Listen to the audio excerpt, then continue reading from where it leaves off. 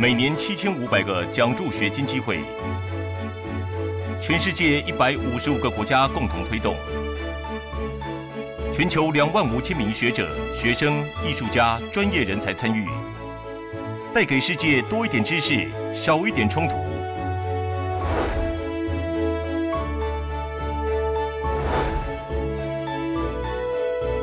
Fulbright has provided this incredible opportunity to be in, uh, you know, a place that I am not normally in. Coming here as a Fulbrighter and not just as an artist or just a visitor has allowed me to engage with the culture in a much richer and deeper way.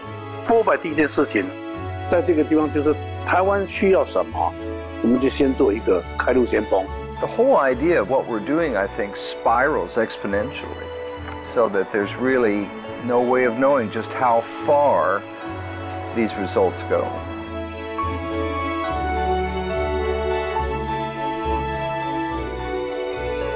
一九四六年，美国参议员富尔布莱特向美国国会提案，发起富尔布莱特计划。提案通过之后，这一国际性教育促进计划，到如今已经走过六十八个年头。带给世界多一点知识，少一点冲突，是富尔布莱特计划的愿景。此计划每年资助各国学者、学生、教师。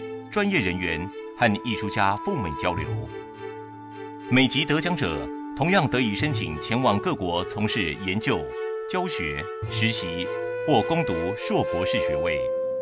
而富尔布莱特计划与台湾人才成长与茁壮有着密不可分的关系。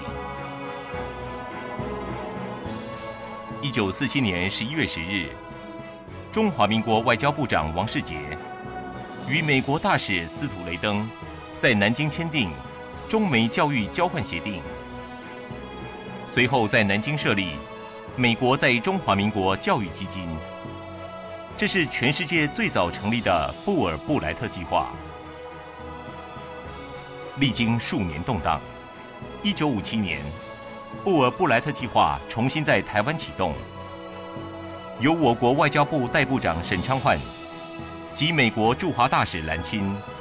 在台北修订1947年所签订的交换协定。1964年，我国外交部长沈昌焕与美国驻华大使赖特代表两国政府在台北重新签订中美教育文化交换计划协定，奠定了富尔布莱特计划在台湾的基础。1979年，原初的美国在中华民国教育基金会更名为。学术交流基金会，半世纪以来，学术交流基金会一共奖助约一千三百位美籍人士来台讲学、研究或进修，同时也奖助约一千六百位台湾学者、学生、专业人士及艺术家到美国攻读学位、研究或实习。台湾有许多领袖精英，其中包括行政首长。大学校长、学者、专家、艺术家和社运人士都曾参与此一计划。基金会的运作由董事会监管，董事会由五位美籍董事及五位台湾董事组成。现任我方董事由外交部代表、教育部代表、台大校长、中央研究院副院长及文化艺术界人士组成。现任荣誉主席是美国在台协会处长马启思先生。过去五十年间，台湾有超过一千六百名富尔布莱特学者及学生赴美进修或从事研究。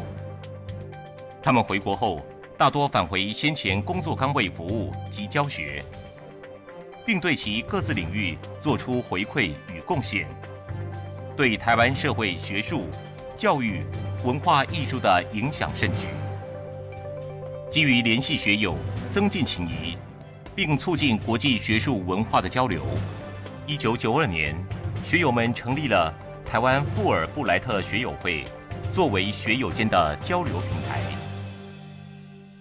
前国立台湾大学校长孙振博士担任了学友会第一届理事长。现任理事长为前行政院长江宜桦博士。每年一至二月间，学友会举行学友理监事会统筹会务；四至五月间举行学友大会，各地学友齐聚一堂。平时则不定期举办学友交流活动、读书会、音乐会及美国求学经验座谈会，多元而精彩的活动。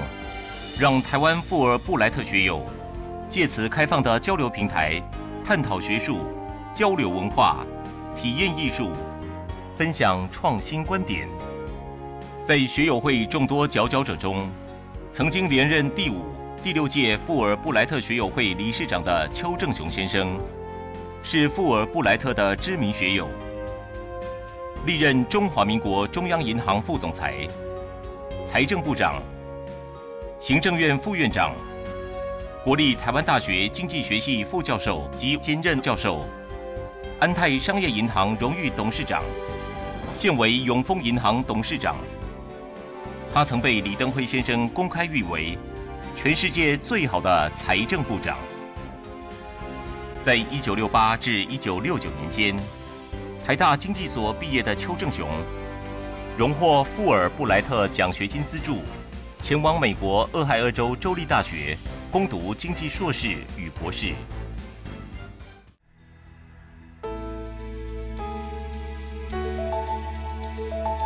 因为我本来在台大教书嘛，那么那个时候台湾正好要推动利率自由化，还有外汇自由化，就外汇的汇率的自由化。那他们就非常希望能够找到。在货币跟外汇领域比较熟悉的人，好，忽然间一位老先生来找我，他说：“呃，我我听了很有兴趣啊，呃，你是不是有意识到中央银行来？所以我就我就去中央银行。首先的就是货币市场自由化的问题，哦，啊，大概那时候在一九六五，我就一月我就去中央银行，那一九六六货币市场就成立了，成立了之后呢？第二年我就转到外汇局去做副局长，然后就开始跟他们一起在做外汇市场利率自由化的问题。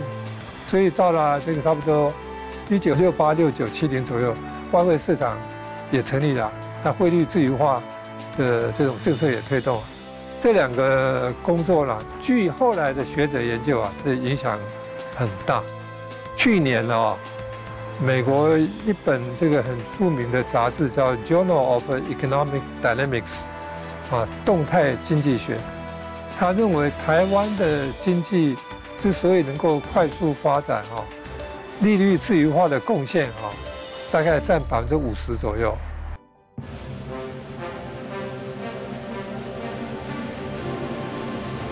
我在美国 Ohio State 念书的时候啊，那时候。几个年轻的教授啊，后来就到美国的联邦储备理事会，就是美国的中央银行理事会去工作。啊，这几位教授啊，好比说一位叫做 Michael Darby，他是跑到财政部做管金融的次长、助理次长，那现在在 UCLA 教书。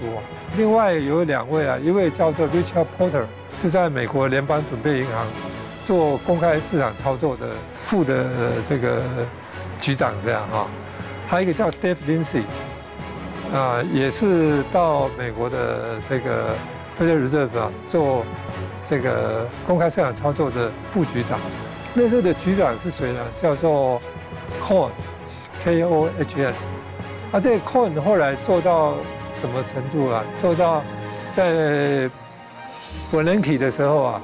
本人可以做联邦储备会的主席嘛？啊，这个 Cohen 他做副主席，所以那些人啊，在费工作啊，是以前我的老师啊，所以我常常去看他们，所以跟美国的联邦储备银行、中央银行的运作，呃，这些人我都跟他很熟了，大家都老朋友啊，都可以就各种相关的问题啊交换意见。那刚好跟我在中央银行工作，不管是外汇局也好，业务局也好，是。做同样的工作，因为我是在中央银行嘛，所以以前的关系啊，啊对我的啊帮助。透过这些人，我可以不只是理论了，实物上我知道美国人是怎么做的，然后他们的想法怎么样，那他们的进步怎么样？那我们在我在中央台时都都可以把这些啊纳入纳入我的工作之中啊。